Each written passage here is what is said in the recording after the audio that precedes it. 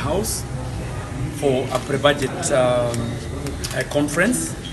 As you are all aware, that budget making is a process.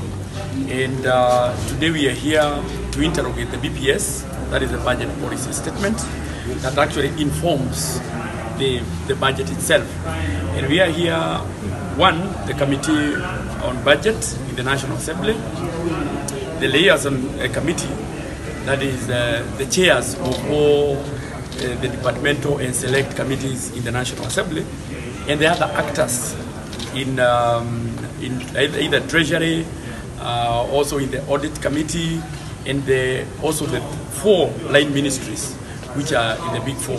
So basically today is a conversation that will inform the budget that we will have of 2021 2022. And as you are very much aware too, that we are in very difficult times, so it calls for us to adjust to the prevailing circumstances.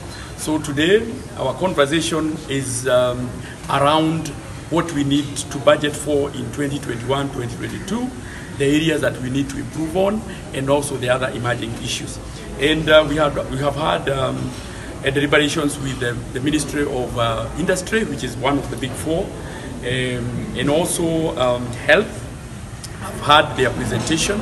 We have also had a presentation from uh, the Ministry of Agriculture and also a presentation from the Ministry of Housing, elected as the chair of budget. Is that the Auditor General's report, as adopted by Parliament, will form part and parcel of the budget making of the subsequent years. The ministries, the MDAs that will be performing well and they have unqualified report from the Auditor General will definitely be getting either an increase or whatever they want.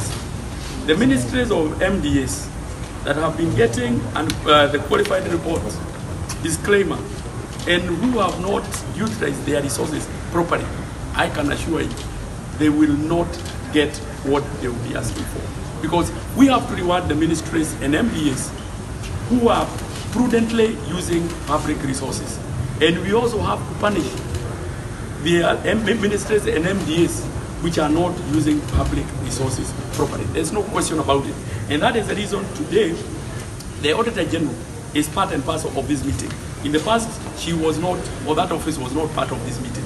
But from today, moving forward, the Auditor General will be part and parcel of the budget making process. She will not come to us at the tail end, but she will be part and parcel of the budget making process. Thank you. You can take your Thank you. Maybe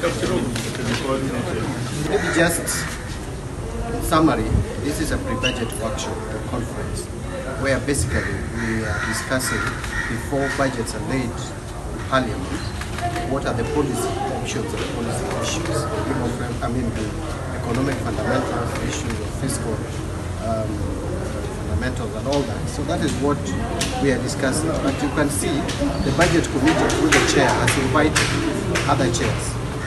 The main reason why the other chairs are very important and critical is for you to manage debt level and to manage budget deficit. You need to, you need to manage expenditure. And you cannot manage expenditure if various departmental committees uh, approve higher expenditures in those committees. So we are discussing how then can we uh, try to manage because there will always be appetite for money. Uh, no, uh, yeah, holistically there will be appetite for money. So we need the budget committee, I mean the various departmental committees to appreciate that we don't have so much resources. And so for us to reduce uh, budget deficit and to go a long way into reducing the, the, the debt level, that is the first, the starting point. So basically that is what uh, we are here for. But uh, let me also add on to what my two colleagues have said uh, regarding the Big Four agenda. Uh, we have identified Big Four as a very important, critical uh, component of the budget for this year because it is the policy direction of the current government.